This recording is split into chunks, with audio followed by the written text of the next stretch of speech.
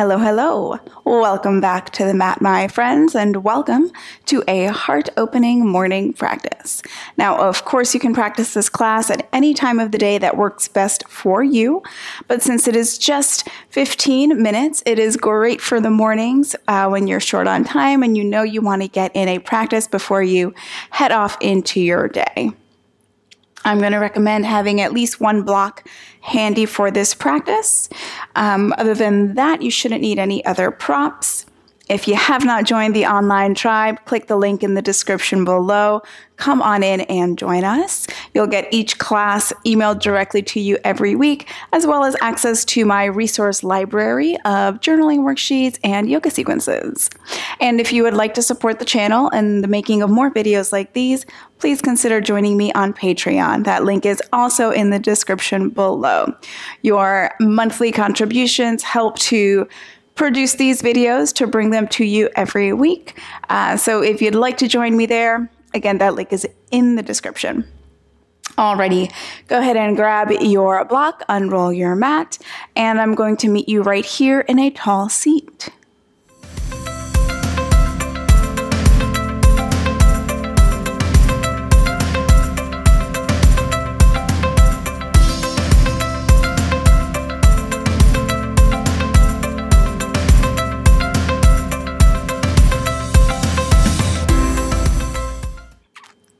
Right, my friend, come on into a tall seat.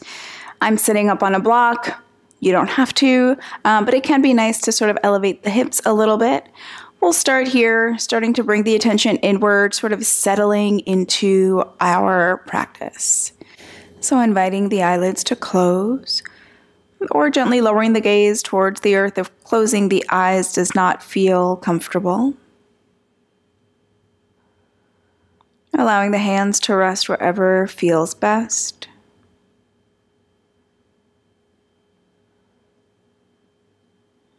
Finding a moment of stillness here.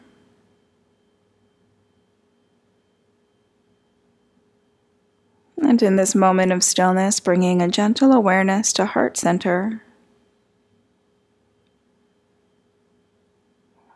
So, right at the center of the chest, becoming aware of the um, space of the spiritual heart, not the physical heart. So, right at the center.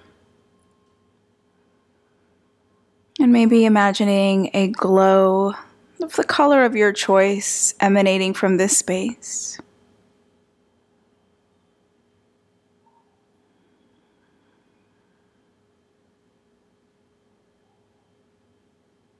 And considering how you can Lead with love today.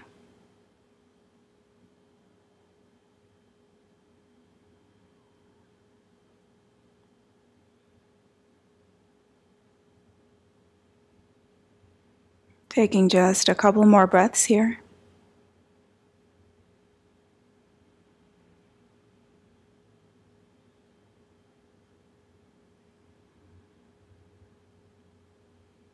And then gently opening the eyes. Go ahead and come on into a tabletop position, hands and knees. Make sure that your block or blocks are at the top of your mat where they're easy for you to grab hold of them. Uh, we'll come to that a little bit later. And your tabletop will move through some cat cows. So as you inhale, drop the belly towards the earth, lift the heart, lift the tailbone. And as you exhale, round the spine, press the earth away, allow the chin to come in towards the chest. Inhale to arch the spine, open the heart forward. And exhale, round, puff up the back. So bring that awareness back into heart center. Inhale, shine that heart space forward. And then as you exhale, imagine that same glow emanating from the back of the heart, shining up towards the sky. And just like that, two more times. Inhale to arch. And exhale, round. And one more inhale. And then exhaling to round. And then from here, come through a neutral spine. Tuck the toes under, lift knees and hips, find your downward facing dog. You can pedal out the feet here, bending one knee and then the other. And then finding a moment of stillness here in your downward facing dog.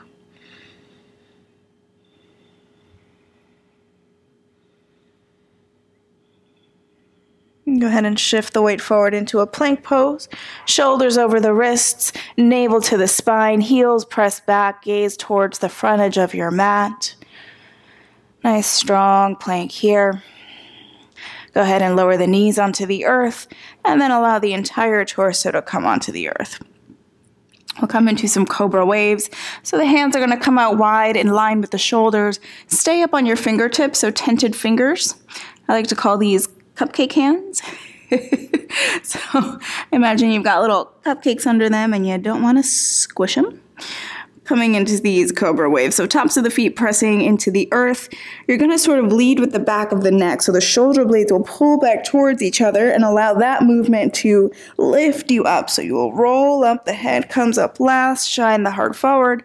And as you exhale, roll down, the head comes down last. Inhale to roll up, opening the heart. And exhale to roll down. Inhale, lift. And exhale, lower. Alrighty, from here, bring the hands behind the back, interlace the fingers, and then reach the fist package sort of towards the feet really actively. The feet come together, lift the feet and legs off the earth, coming into Shalabhasana locust pose.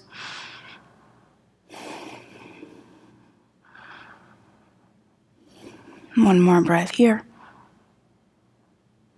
and then releasing to the earth. Hands come onto the earth underneath the shoulders. Go ahead and press yourself back into downward facing dog. And then from here, start to walk the feet up to the hands. Bring the feet to hip width distance. Keep a bend in the knees. Let the torso and head hang heavy. You can shake out the head yes, no. Maybe so. Maybe find a sway of the torso side to side shifting the weight on the feet nice and easy.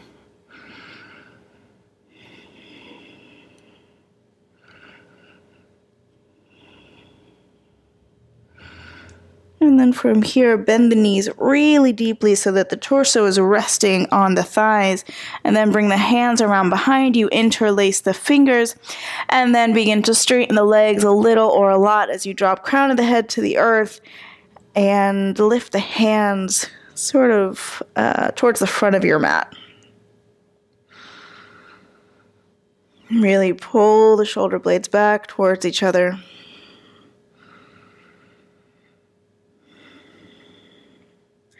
I'm going to go ahead and release the hands onto the earth and step the left foot way back bringing the left knee onto the earth. If you'd like to bring a blanket or a towel or something, or if you'd like to fold up your mat to pad up the knee, feel free to do that. Go ahead and grab a block and bring it onto the earth next to your left hip. When you feel steady in the legs, lift the torso, lift the arms, Anjaneyasana.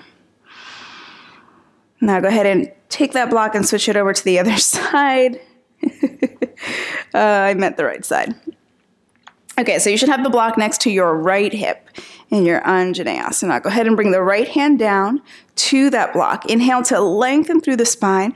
As you exhale, lean over towards the left side. So big side stretch. Right hand rests on the block. You can choose the height that works best for you. And imagine sending the breath all the way down the left side of the body, down into the left hip flexor, the left quadricep.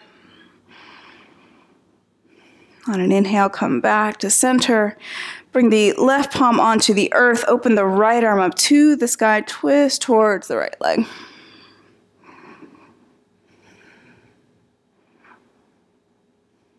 And then bring the right hand towards the earth and lift the torso once again, Anjaneyasana. Really press into the big toe mound of the right foot. Find a sense of lift in this pose. Pubic bone to navel, firm up the lower belly. Bring the arms back behind you, interlace the fingers, and reach the fist package towards the left foot as you lift the heart towards the sky.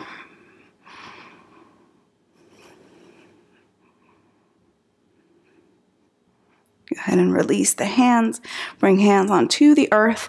Tuck the back toes, lift the back knee, and then walk the hands over to the left side of your mat, bringing the feet parallel, folding over the legs, wide legged forward fold. Bring hands under shoulders. Inhale, lengthen spine. Walk the hands all the way to the back of your mat to the left foot. Turn the left toes to the back of your mat. Come onto the ball of the right foot. And then bring the right knee onto the earth. And then as you feel steady, lift the torso, lift the arms, Anjaneyasana. Now the block should already be um, to your left. So maybe just uh, position it so it's right next to the hip Left hand will come down towards it. Inhale to lengthen and exhale, lean over to the left. Big stretch all the way down the right side of the body.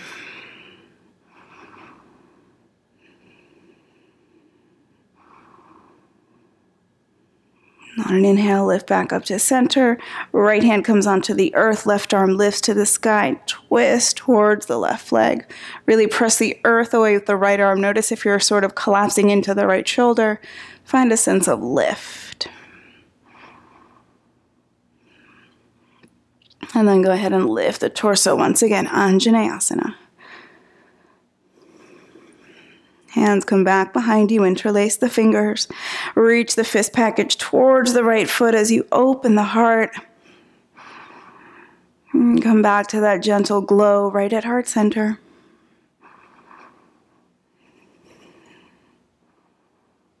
And then releasing hands, bringing them onto the earth. Tuck the back toes, lift the back knee. Come to the side of your mat once again, parallel the feet.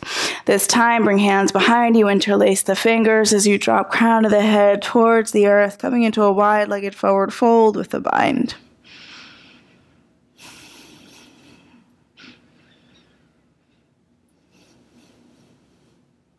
And then release hands onto the earth. Hands under shoulders. Inhale, lengthen spine. Walk hands back to the front of your mat into a lunge.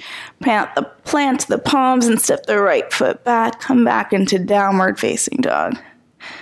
Go ahead and bring the knees onto the earth, seat to feet, forehead to mat, child's pose.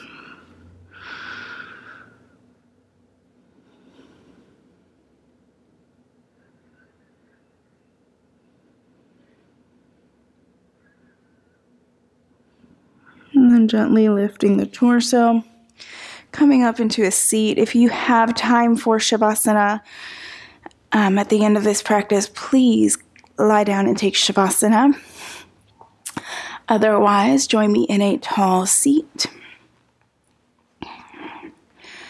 Sitting up nice and tall, rooting down through sitting bones. Inviting the eyelids to close here for a moment, and again bringing that awareness right into the center of the heart. Notice if the glow that you envision there is a little bit brighter. If the space feels a bit more vibrant, a bit more open. And how can you lead from this space today? Go ahead and bring the palms to heart center and bow the head gently towards the hands. Thank you so much for allowing me to lead you in this practice today. Namaste. Thank you so much, yogis, for joining me here for this morning heart opening practice.